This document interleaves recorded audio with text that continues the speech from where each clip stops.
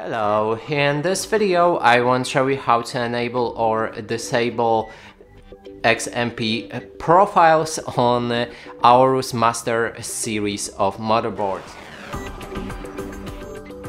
this we can either uh, open the easy mode and here in the bottom left corner you can find XMP slash A EXPO uh, profiles and we can switch between disabled or XMP profile. Uh, then another way to do it, if you can't see this option right here, is to enter advanced mode in the top right corner. Go for the tweaker and here you'll find the same thing, XMP slash profile and we can either enable or uh, disable it.